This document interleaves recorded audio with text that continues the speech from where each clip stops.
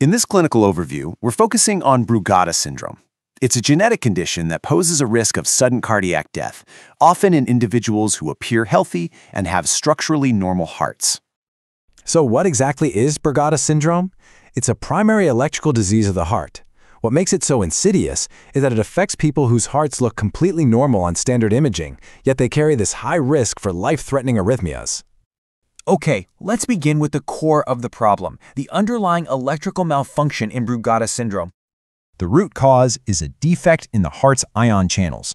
These channels manage the flow of electrical charge across the heart cells, and when they don't work correctly, the entire electrical signaling process is disrupted, leaving the heart vulnerable to dangerous, chaotic rhythms. This leads to two particularly concerning arrhythmias. First, polymorphic ventricular tachycardia, or VT. This rhythm can quickly spiral into the second and more fatal one, ventricular fibrillation, or VF. VF is what causes sudden cardiac death, because the heart's lower chambers just quiver instead of pumping blood.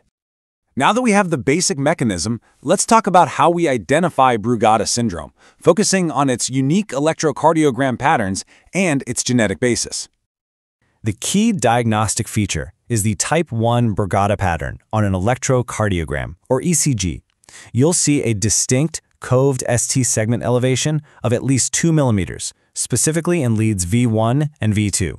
A major challenge here is that this pattern can be transient, so it might not always be present on a random ECG. From a genetic perspective, the most common culprit is a mutation in the SCN5A gene.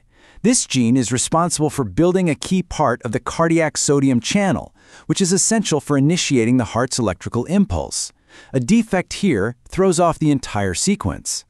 Inheritance is typically autosomal dominant. This means if a parent has the condition, each of their children has a 50% chance of inheriting the mutated gene. And while it's most often inherited, that's not the whole story. Spontaneous mutations, with no family history, account for 20 to 30% of all cases. So this syndrome can appear in any family. So how does this actually present in a patient? Let's move on to the clinical symptoms in the process for diagnosis. One of the most difficult aspects of Brugada syndrome is that many individuals are completely asymptomatic. When symptoms do appear, they might include fainting spells, known as syncope, or palpitations. A particularly worrying sign is agonal breathing during sleep. Tragically for some, sudden cardiac arrest is the first and only sign. Here's a critical point for management. A high fever is a significant trigger.